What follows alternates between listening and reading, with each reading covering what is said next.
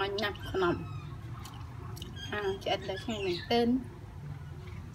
ខ្នំកូនត្រីយើងមកដាក់គ្រឿងច្រើនពេកអកូនដាក់គ្រឿងច្រើនពេកវាខាគ្រឿងញ៉ាំអត់ឆ្ងាញ់ហើយយើងដាក់គ្រឿងតិចចេះឆ្ងាញ់ណា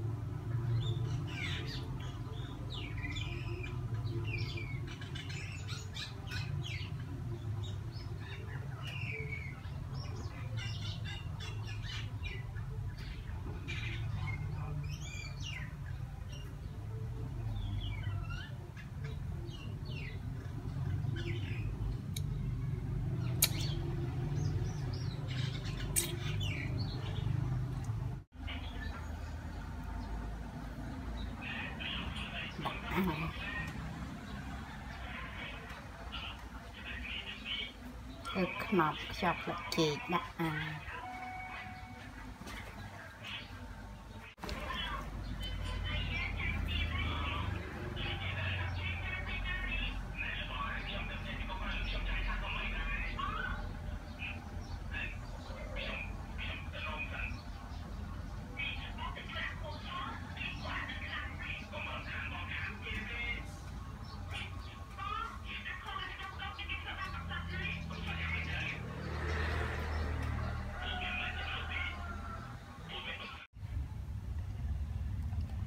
ធ្វើខ្នប់កូនត្រីយ៉ាងវ៉ា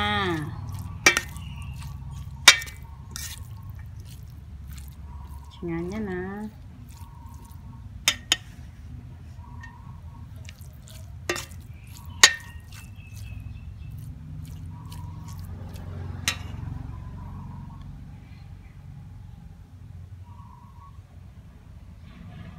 ឆ្ងាញ់ ណាប់លេជាមួយសាច់ជ្រូកគ្រឿងទេសខ្ទឹមក្រហមបុកគ្រឿងលាយញ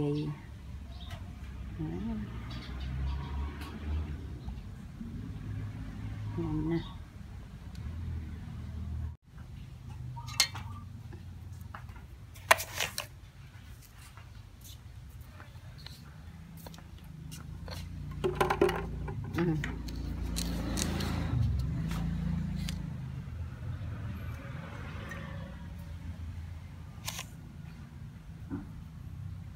Oh.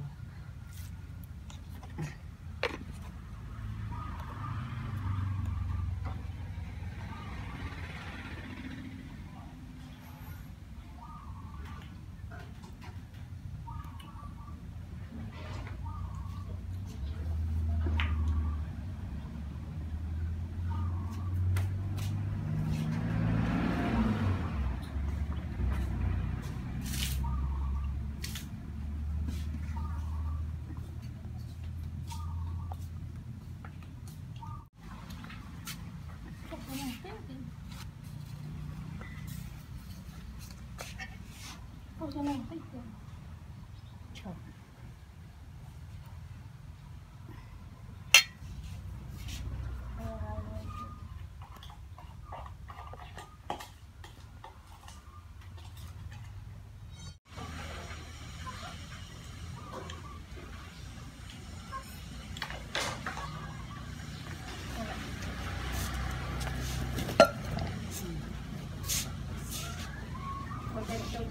có mua được tiền à?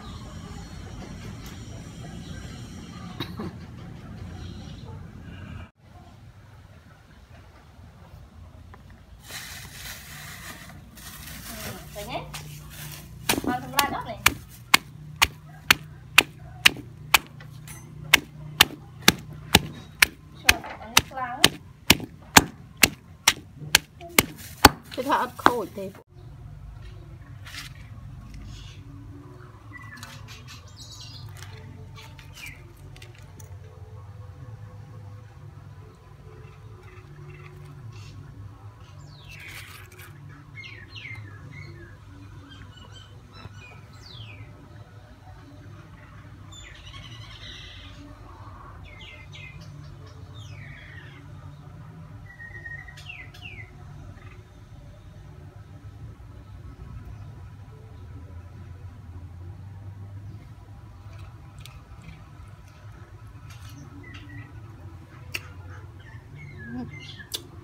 មាញ់ណាស់ខ្នំអាឆ្អិតដល់ឆ្ងាញ់មែនទែនខ្នំកូនត្រី